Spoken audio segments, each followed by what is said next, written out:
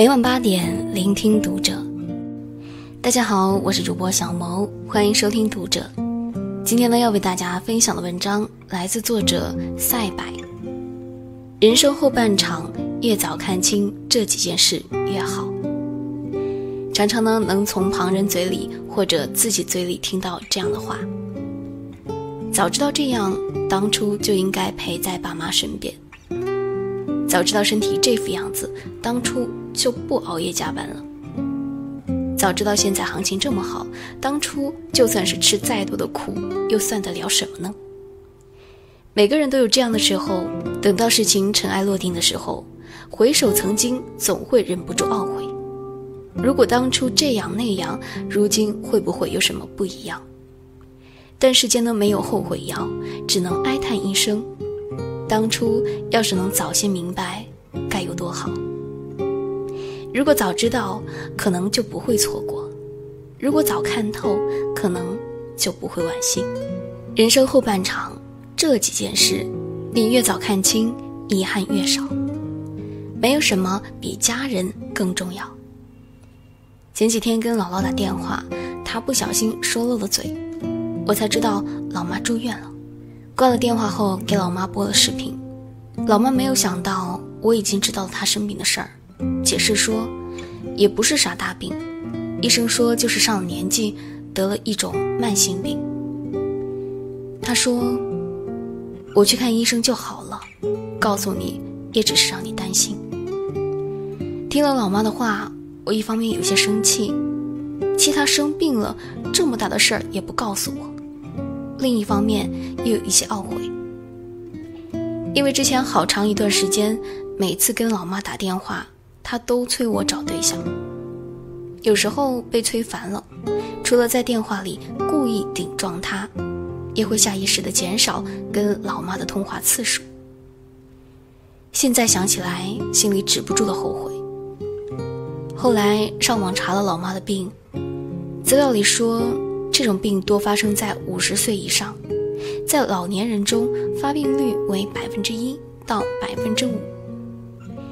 看到“老年人”这几个字的时候，脑海里突然划过“如果老妈不在了”的念头。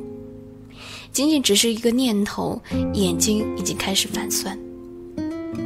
俗话说：“父母在，人生尚有来处；父母去，人生只剩归途。”好久之前呢，读到一篇文章，文中写到了作者的父亲的爸妈去世了，平时山一样的父亲，那一刻却哭得像个孩子。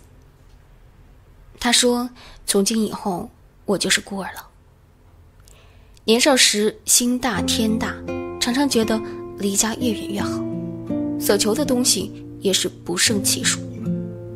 后来慢慢长大，心变得越来越小。小到只能容下一个家，所求的也不过是家人健在而已。我们常说做父母是有有效期的，其实何止是做父母，做子女、做爱人、做家人也是有期限的。往后的日子，工作再忙，也别忘了抽时间陪陪家人。听老妈的絮叨，听老爸讲他的人生经验。听孩子抱怨功课繁重，听爱人说工作上的欢喜与枯燥。人活一辈子，最重要的不是车子、房子、票子，而是推开家门，发现一家人都在。他们笑着说：“就等你开饭了。”离别是人生常事，且行且珍惜。中学时读过郭敬明的《夏至未至》。时隔多年，早已记不清故事里的人物与情节，却唯独记得这句话：那个男孩教会我成长，那个女孩教会我爱。他们曾经出现在我的生命里，然后又消失不见。那会儿还小，只觉得这句话好美。后来长大了，经历多次离别，才明白这话里的深意。很多时候，生命就像是一列的绿皮火车，一路上有人上车，也有人下车。有些人擦肩而过的缘分，有些人能相伴数盏。有些人羁绊较深，但送君千里，终有一别。每个人都有自己的路要走，没有谁能陪着谁一直走到最后。可就像有句话说的那样，无论你遇见谁，他都是你生命里该出现的人，都有原因，都有使命，绝非偶然。他一定会教会你一些什么。许多人说张幼仪最大的不幸是遇上了徐志摩，但成也萧何，败也萧何。某种程度上，也正是徐志摩的无情，成全了张幼仪风华无双的后半生。毕竟，这段婚姻给张幼仪的不只是苦不堪言的经历，还有置之死地而后生的勇气。离开徐志摩后，张幼仪先是入佩斯塔洛奇学院攻读育儿教育，回国后呢，他又去东吴大学教德语。之后还出任上海女子商业银行副总裁，与此同时，他还开了一家名为“云商”的服装公司，一时威风八面。试想当初，倘若还跟徐志摩在一起，张幼仪的后半生大致还是要陷在婚姻的泥沼里。我们这一生要遇见很多人，有些人出现在生命里，只是为了给我们上一课，比如喜欢的人教会了我们爱。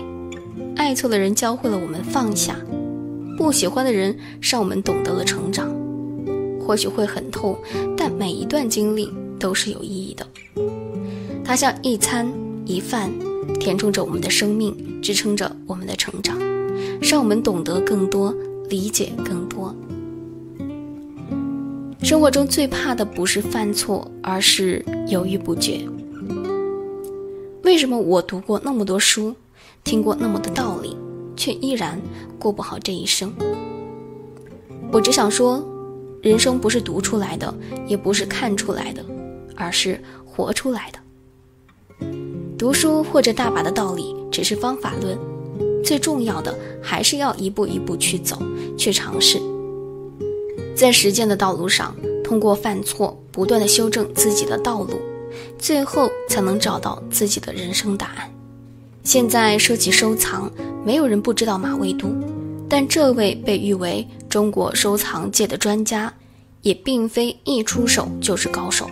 有次与成龙一起录节目，马未都说自己年轻时也曾有过买红木条被调包的事儿，但如今想起这件事情，马未都却淡然地说：“这好比我们每个人都犯过最简单的错误。”我们一直都是在错误中前行，因为有错误才能找到正确。包括成龙先生，我看到过他很多片子，从年轻到壮年到中年，整个心路历程实际上是在不停地修正自己的一个过程。《暮光之城》里面有段毕业演讲，我觉得现在不是做出艰难而仓促决定的时候，现在是犯错的时候。登上错误的列车，困在某处，坠入爱河，一次又一次主修哲学，因为那是最没前途的专业。改变主意再返回，因为没有什么是永恒的。所以尽可能的去犯错，那样呢，有一天当他们问我们想做什么时，我们不需要想，因为已经了然于心。古人说：“唯以改过为能。”不以无过为贵。生活中最怕的，永远不是犯错，而是犹豫不决。因为有时候一旦错失，可能就是一辈子。喜欢一个人，就应该赶紧表白，没有谁会站在原地等待。想实现的梦想，立马着手去做。岁月让人成长，也令人蹉跎，没了当初的勇气。想见的人，穿洋过海也要去见。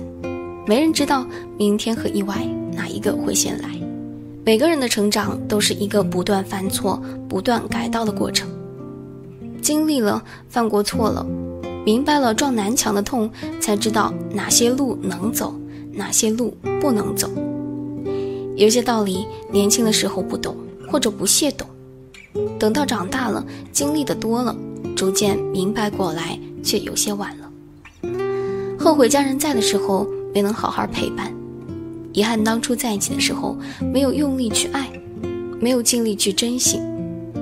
可惜在最应该犯错的年纪，踌躇不定，犹豫不决。生活只有一次，过去了就过去了，不能重来。往后余生，愿你我皆能重新出发。肆意活着的时候，也别忘了珍惜身边的人和事。这样，当我们回首往事的时候，至少不会有太多遗憾。好了，今天的文章就为大家分享到这儿了。关注读者新媒体，一起成为更好的读者。我是小萌，祝大家晚安。